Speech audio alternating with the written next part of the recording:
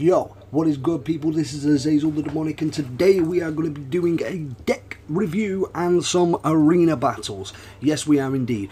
This video is dedicated to a Heroes Camelot player called Fatality who is in Percival 47. This guy really helped me out um, with my deck, so therefore this video is dedicated to him. Peace, brother. Anyway, I could just jump in and preload it, but I'm not going to. I'm going to do it the slow way so you guys can check out. Basically, with your first team, this team needs to be the team that takes the most damage. Therefore, you're going to need a health point multiplier. This one, I found to be the best personally as what I can do, which is increase the 200% health points and reflect 40% damage. It's a pretty damn good deck. Um, party, should I say? No, team, even. I'll get my words right in a minute. The second one, now again, I'm doing this in preference to my deck. Um, we'll kind of go over what other people can do, but with my one, this is where all my attack comes from. So you've got the 180%, which is for Ice Lord and for Infernus, and then uh, Melwyn Pendragon's individual increased attack bonus by 125%, which in total is 305% attack increase. Oh my god, I'm knackered.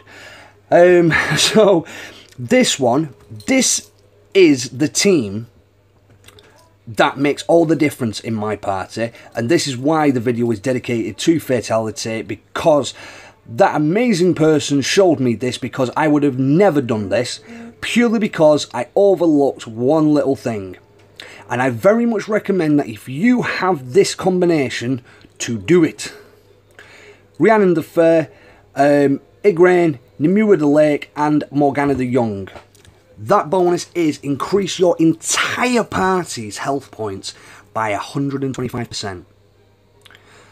Sorry, what I'm doing there. Sometimes sometimes I flip between Galzra and Rhiannon the Fair, but I'm trying to go for the strongest, and seeing as Rhiannon, Blighted Rhiannon has the most uh, health points, we'll go with that. You know, some in some senses it's good for uh, to have Galzra because he has the instant kill enemy team, but hey ho.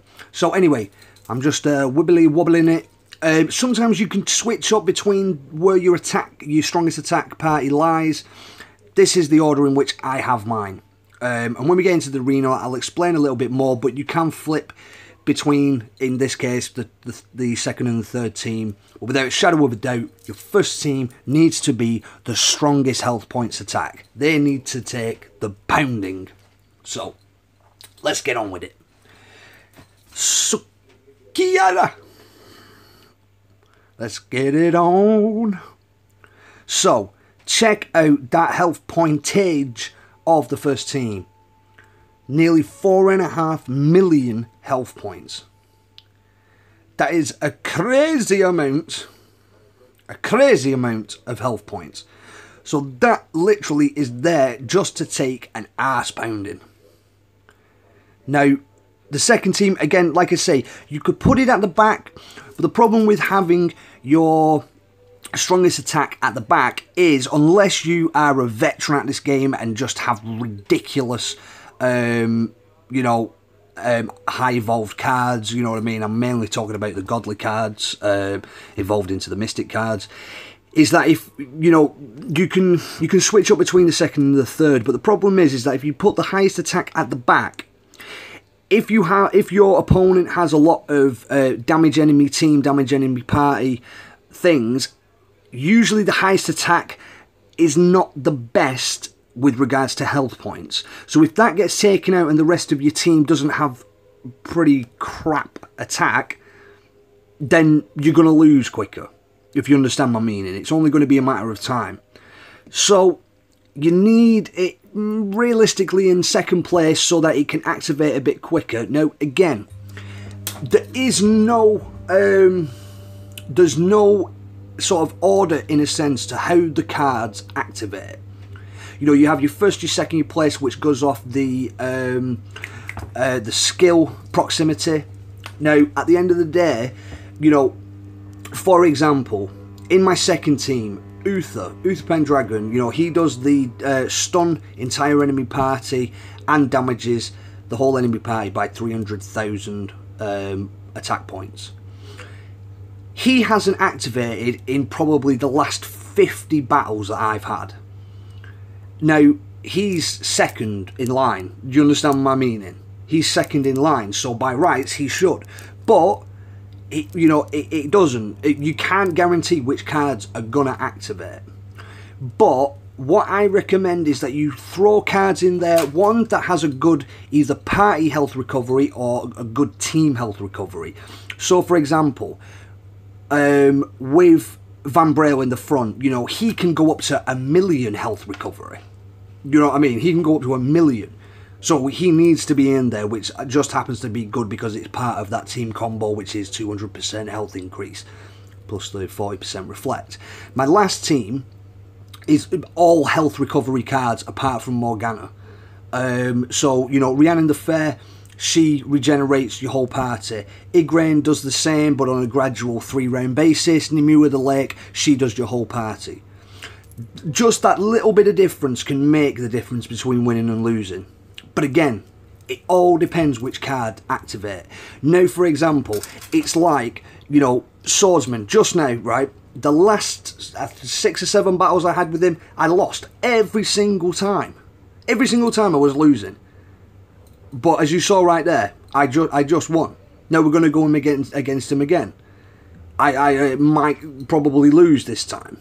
Again, it just depends on which cards are going to activate. Now, this is a good start because I've silenced the, the whole team um, as far as the individual cards are concerned. Now, the actual team itself can hit with the full force of the total attack, but the individual cards can't activate. So, which basically means, in hindsight, you know, Neural Hellbringer, no, he can't activate. Uh, Melgwyn can't activate, Uther can't activate, Ice Overlord can't activate, and then going back, you know, um, the um, Morgan, uh, no, Mordred, she can't activate. So you know, it, it's one of them. It just all depends on how the cards activate. But it does, you know, bring into question how you do organise your team. So, you know, for example, if I'd put the third team at the front, um, or even the second team at the front and the first team in second or third, by the law of how the statistics are, I, I, I wouldn't win. So, you know, you've got to arrange it in a way that's going to win. And it does take some trial and error. You know, it really does. And, you know, I, I was lucky because uh, Fatality helped me out and said, you know, you need to try this out because that third team, I'd have never done that. I totally overlooked the 125% total party health increase. Do you know what I mean? So that that's the difference. I'd have still had like the crack knights or, or something. Do you know what I mean? I'd have had Uther with Igraine or, or something like that. Or um, chain wall with uh, the Scorch and um, and Melgwyn. Do you know what I mean?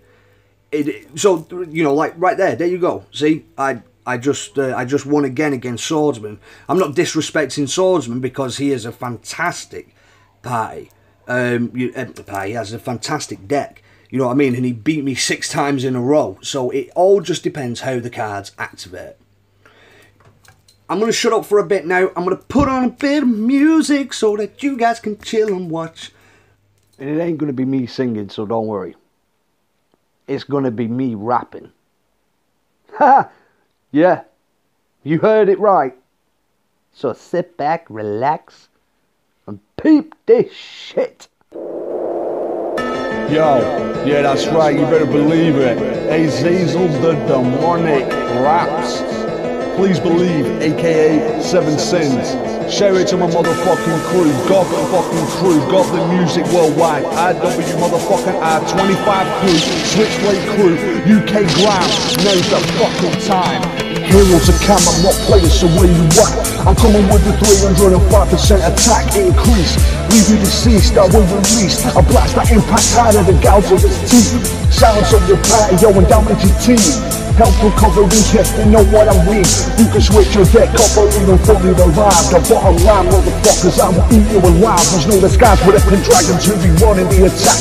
With furnace in the ice, overlord, he got a back.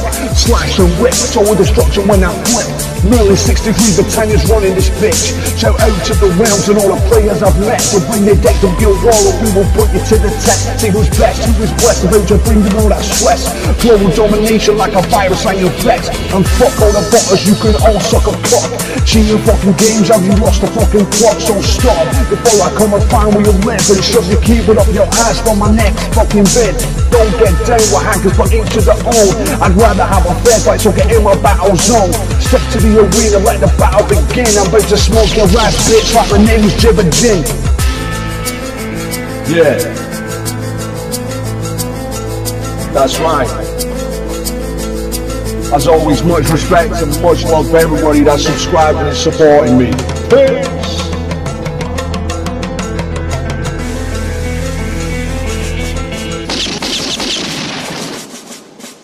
Yeah. So there we go, people. That was me, aka Seven Sins. Obviously, that was a bit of a little something something. Yeah, something something. That I threw together uh, just purely for HOC. Um, so yeah, there we go. Yeah. But yeah, no, straight up. Um, you know, I've made like a kind of small career, if you will, uh, with rapping and DJing and MCing and stuff like that. Very long time ago. Uh, I don't even know how long ago, maybe 10 years ago, 11 years ago. You know, I even got signed at one point. I've even supported fucking uh, RZA of Wu Tang Clan. That is absolutely no fucking bullshit. but there we go. So, anyway, let's get back to fucking business. Um, yeah, basically, guys, you know, as you can, you know, you probably say, I mean, you've more than likely been distracted by the fact that I rap, um, but you know, let, let's let's be sensible here. Um, you know, as far as your whole team and you know your whole deck is concerned, you obviously have to find a deck that you like. I mean, uh, you know, I really like this deck. Um, you know, I like my whole setup. I like you know the, the you know the the individual effects of the cards. The only one that I don't like is Hope. That's the only card out of my whole deck I don't like. I just I hate shields. I it's just like whatever, whatever. The shit you understand what I mean? But that's just my own personal preference. It's almost the same of what um, you know Oshionda Dread did. Do you know what I mean? It's just a shield. At the end of the day, it is what it is. Um, and again, you know, I, have I've had a victory now. All you know, every one you've gone through now has been a victory. Do you understand what I mean? But it's like you know, right now, you know, I'm gonna lose. I I'm gonna lose this one straight up. Uh, you know, swordsman before I started, you know, recording this video, he beat me six times in a row, and then I just beat him twice in a row. Do you know what I mean? He's now going to beat me again. It, it swings and roundabouts at the end of the day, you know, unless unless you're, you know, like got just the most retardedly good deck. You know what I mean? It's gonna be swings and roundabouts. You win some, you lose some. You win some, you lose some. And that is, you know, that's it, people. Um, I hope that has, uh, you know, been entertaining for people, um, and I hope for all the new people, um, it's been, you know, it's been helpful as well. So there we are. Much love. Thank you for liking. Thank you for subscribing. God bless your faces. Peace out.